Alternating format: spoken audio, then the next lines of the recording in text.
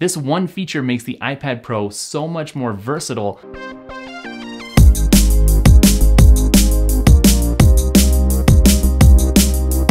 Hey, what's going on guys? It's Chris from DailyTekk, and today we're gonna be talking about choosing the best iPad Pro 9.7 inch keyboard. Now, like it or hate it, the iPad Pro was meant to be a mobile computing device that could help you get some serious work done. But Apple's official smart keyboard at least partially flubbed the Pro experience, at least in my opinion, by keeping things overly minimal. Now don't get me wrong, Apple's keyboard does have some cool features and a nice style, but for the better part of a year I ended up neglecting my iPad Pro mostly because of Apple's keyboard. When I realized that Apple's keyboard might actually be holding me back a bit, I started experimenting with some new keyboard cases, and only recently has the iPad Pro started living up to its potential. Unfortunately, there's no such thing as the perfect iPad Pro keyboard case, at least not yet in my experience, because all of them have at least one glaring flaw. Now Apple's bound to announce some changes to the iPad Pro lineup shortly, but I doubt any of them are gonna change the hardware in a significant way, and I'm sure that these keyboard cases and my observations are gonna be useful for quite a while. Let me start things off by talking real quick about Apple's smart keyboard.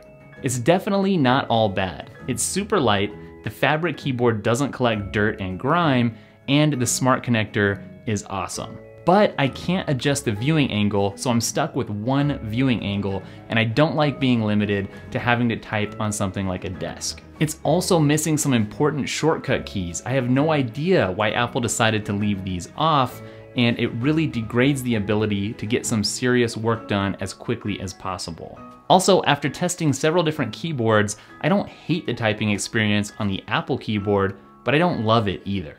And finally, there's no backlighting on the keyboard, which means typing in dark spaces is definitely less than ideal. Now, luckily there are some decent alternatives out there and I've narrowed it down to what I think are the top two to help make your buying decision a little bit easier. So first up, let's talk about the ZAGG Slimbook. And this is the case that really made my iPad Pro come to life. The top feature here for me is just the ability to adjust the screen angle exactly how I want it to be.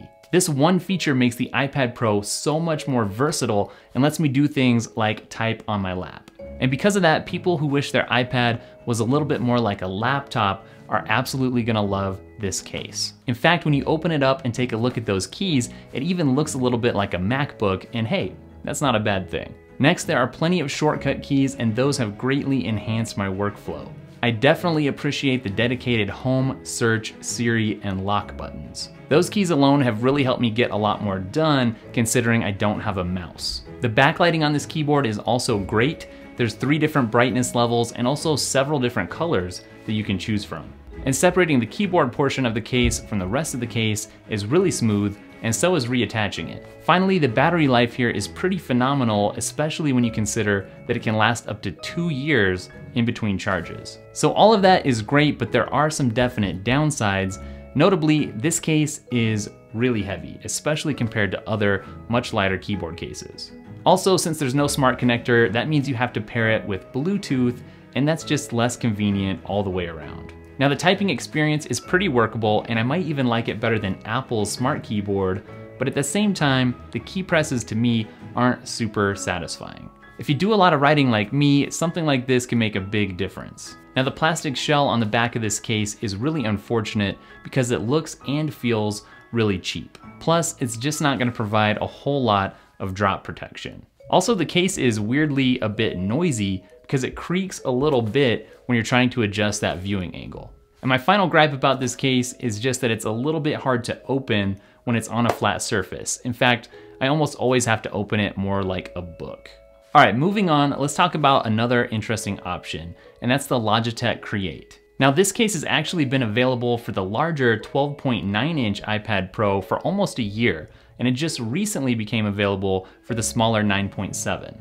Now, without a doubt, this is the absolute best typing experience that I've come across on an iPad keyboard. I really like the key travel and the key size, and using this keyboard makes me want to never use another iPad keyboard ever. It's also very lightweight, which is a definite bonus for people who like to travel light, and it's got that smart connector, which is awesome. The backlit keyboard is great as well, and it does have three different brightness settings, but you're not gonna get any extra colors like you would with the ZAGG. One definite standout feature is the built-in Apple Pencil holder, which helps ensure that you're not gonna lose that really expensive stylus. And like the ZAGG Slimbook, I really ended up appreciating those extra shortcut keys.